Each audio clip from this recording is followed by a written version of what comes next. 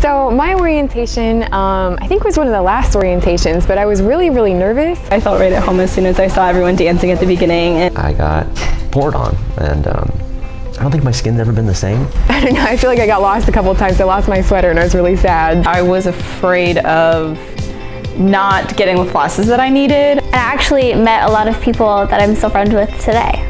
I was really worried if I was going to be able to get the classes I wanted, you know, a nice schedule and really get out of here on time, but uh, everything ended up working out really well. I got some great advice to help. Honor Symposium is a really cool class that freshmen get to take because they get to hear from guest lecturers from all over the Orlando community.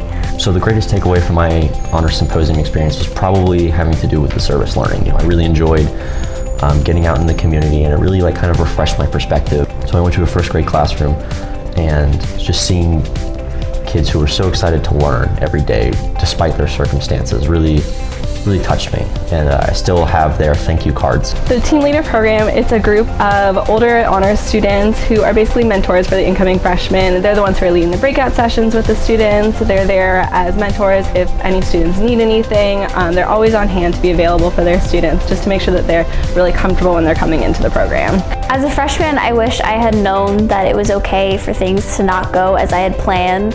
There were so many things that I wanted to do and thought I had to do and either didn't have the time and the energy for or was rejected from that I thought so many times like, oh my gosh, things aren't going right. And the fact of the matter is that even if it didn't go the way that I had wanted it to, I always ended up exactly where I needed to be.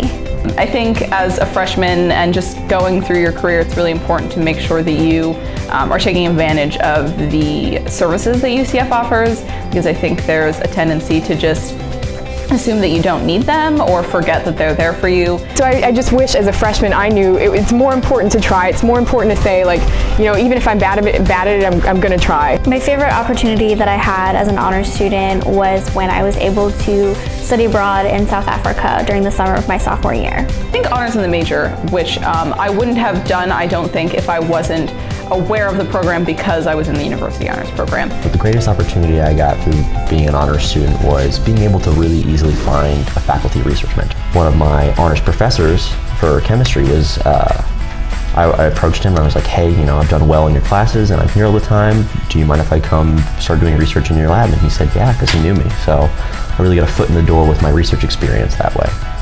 After graduation, I plan to pursue my master's at the University of South Carolina for higher education and student affairs. I've been accepted to graduate school, uh, Texas A&M, and I'll be going there to pursue my PhD in chemistry. Um, I have plans to attend law school in the fall. I'm not sure yet where that will be. Um, I've been admitted to a lot of schools, including Harvard. So I first chose to be a peer ambassador because I wanted to get more involved in the Honors College. I really have enjoyed my past two times and uh, I'm looking forward to doing it again and you know, helping a whole bunch of new students and maybe inspiring them to become peer ambassadors. My freshman year, I saw the poster for peer ambassador in the Honors College and I thought, why not? That looks like fun. And to work with, to see, I mean, especially as a team leader, to see like the incoming class of freshmen that I would be working with and as a teaching assistant basically, like that was really cool as well. And I know that um, orientation can be a stressful experience, so I wanted to be able to make that as you know easy a transition as possible for students. I actually got a job at the Honors College through being a peer ambassador, so I kind of couldn't resist coming back after all of those experiences. Uh, I've always wanted to be a peer ambassador, but I've never been here over the summer before, so this I felt like was the perfect time, and it's just an experience that I didn't want to miss because I loved my orientation experience so much, and my peer ambassador made such a difference when they were helping me choose my classes and all of that.